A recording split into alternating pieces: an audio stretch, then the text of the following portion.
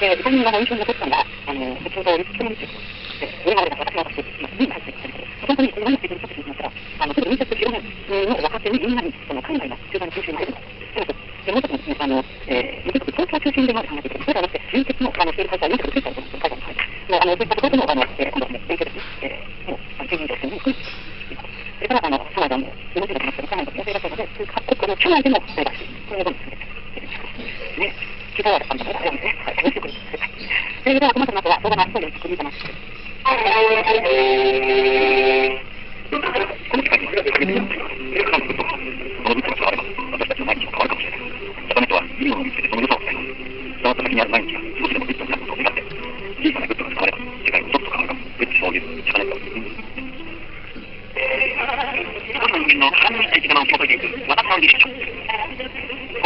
93の冒険家、上田雄一。命の危険を顧みない状年、人類の異常が処理る、衰えることのない冒険心にいります。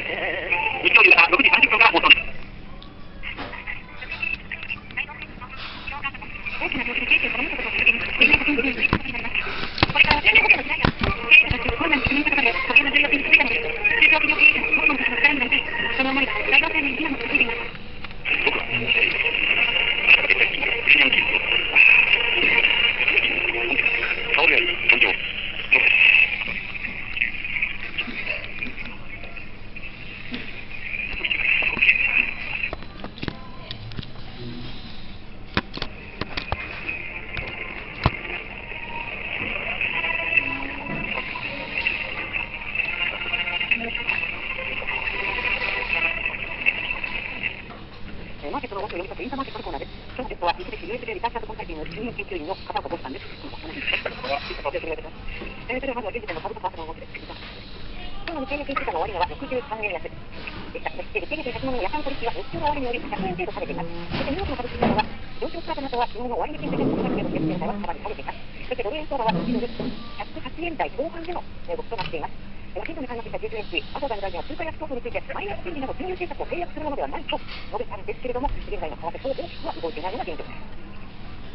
えー、麻生さんのコメントを受けても、為替の動いてないそうですね、やはりここはですね、あの、まあ、日銀が追加緩和というですね、実際行動をさないと、局面が変化してこないということなんですね。ですから、あの、麻生さんの、えー、話というのはですね、要は、通貨安競争で日銀が追加緩和ができないと、まあ、そういう足かけを取り払ったんですけど、ただ、市場としてはですね、実際行動を本当に起こすのか、そういったところを見ていくので、ですから、あまり、えー、まあ、今回の話ですね、株価がそんなに動いてこないということだと思います。ちなみに、あの、えー、この前のマイナス金利導入した、はい、ちょっと導入した時、それ以降に、あの、感染者に円高のものに出たということで、はい、果たして本当に、あの、円安、体にそうなるような、はい、マイナス金が政策なんだろうかという、そういうような動きがありますので、ね、あの、まあ、ここはですね、マイナス金利だけではまずいです。はい。ですから、結局ですね、その、まあ、日銀としてはマイナス金利を作ってたわけですけども、それがですね、積極的な緩和ではなくて、要は、要は普通に働きかけるということが、まあ、限界に来ているので、だから大体案としてマイナス金利を出していく。まあ、そういうイメージで捉えてます。ですから、やはり今後ですね、追加緩和という世代には、マイナス金利をより深めるというよりかは、むしろ両基金に対して限界だと、こういう考え方を払拭しないとですね、で、あの、まあ、先日の桜さんの講演というのは、やはりそういった意味ですね、で金利だけはって、両と3方向で一斉正社をしたいと、まあ、必要であれば、こういう政策で、まあ、ここは交換できるんですね。こうそういった黒さんの講演なども含めて、株価が上昇そうですね。あとはまあ、えー、今回の場合ですと、やはり、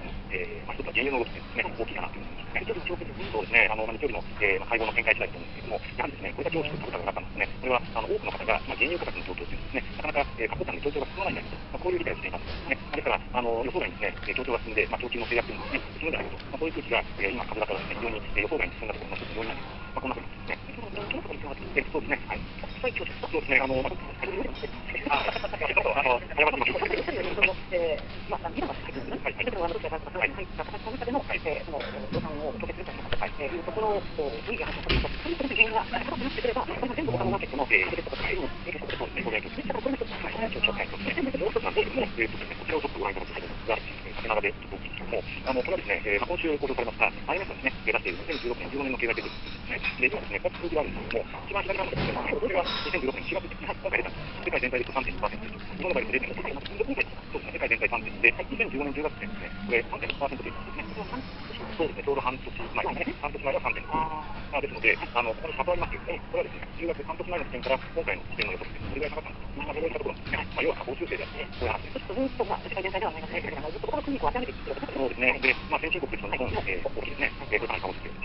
れない。それから、あとですね、他の国ずっと下に行くと、まあ、ロシア、ブラジルといったところが非常に大きいんですね。で、まあ、ロシアの場合は特にそうですけども、こちらは原油を、まあ、ですね、で、先ほどの原油が、それが大きく、まあ、輸出国で世界経済、最初はロシア経済が増えております。こういう展開になります。まあ、ブラジルも原油を輸出しているので、ですから、まあ、そうした意味ですね、あの、大きく、まあ、影響が大きい。で、こうした下方修正が全体、世界経済全体のですね、成長率の見通しに下をついていく。こういう話。ですから、あの、まあ、これはですね、よく実ってまして、あの、原油が安くなると、資源を輸出するというのは影響があるんですけども、ただ、資源の輸入するというのは公益を出すんですね。ただ、こうした動きというのは、今、世界経済全体としてはなかなか進んでいないということ。そうですね。はい。そこ注目ですね。ですので、まあ、需要が減っているところですので、ですから中国経済がなかなか好成長を取り戻さないということであれば、これは先進国拡張として、総需要を増やすような政策をやっていく。そういうような国際協こういう話になっています。では、先進国で、まあ、そのに話し合って、はい。えー、先ほどもありましたけど、日本、中国、ロシアが再生するスピードを取ったり、えー、そういう話になってます。はい。まあ、これですね、やはりその今後の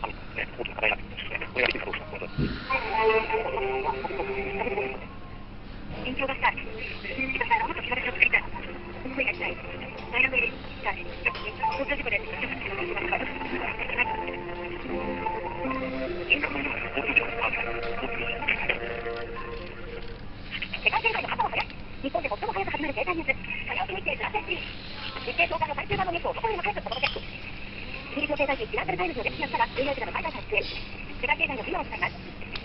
火曜日日経プラペシ、放送中。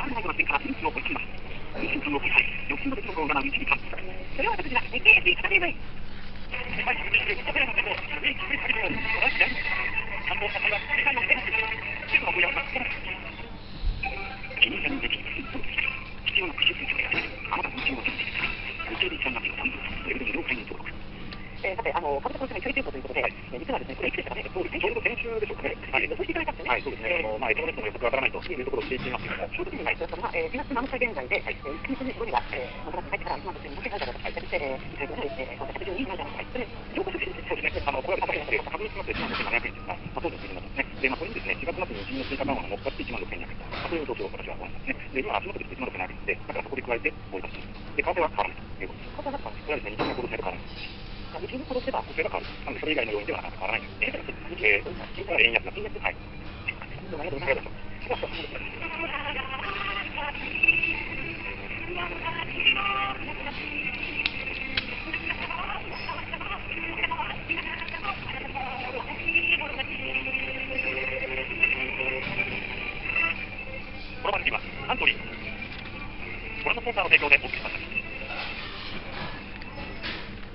この、お。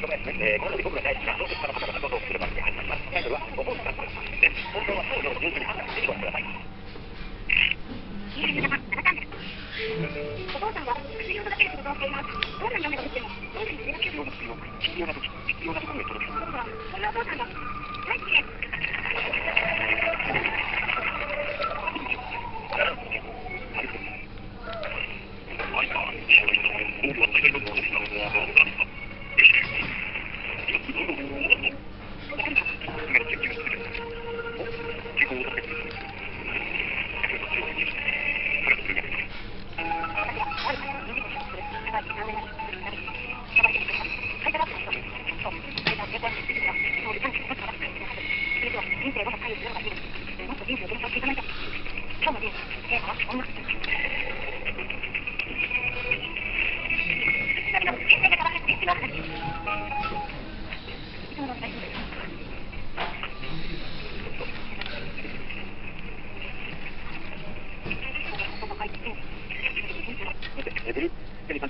今私がいるのは、この町で一番大きな避難所です。益城町の保健水センターに来ています。実はこちら、昨日の段階ではですね、900人以上の方が避難をしていたということですが、今日夕方にかけて徐々に徐々にその人数は減ってきているんだそうです。ただ、中を覗いてみるとですね、皆さん、